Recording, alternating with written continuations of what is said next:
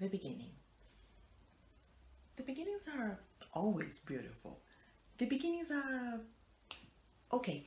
Do you know Breakfast at Tiffany's? The film, not the novella.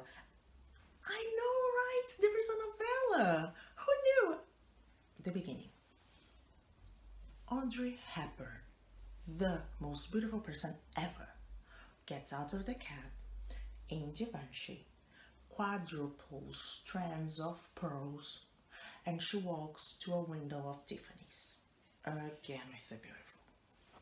And then the melody of Moon River wafts in. Start with me. The beautiful quotient is excessively high.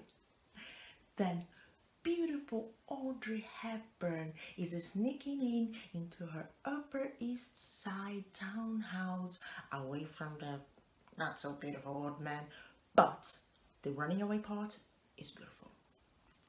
And then, but then, the unspeakable happens. Mickey Rooney.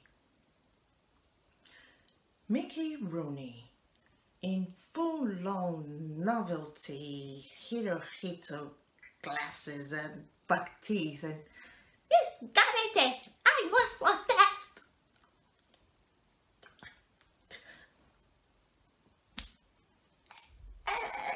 can never recover. She can gab on and about uh, the mean reds and the cat with no name, but no, sorry. It's too late.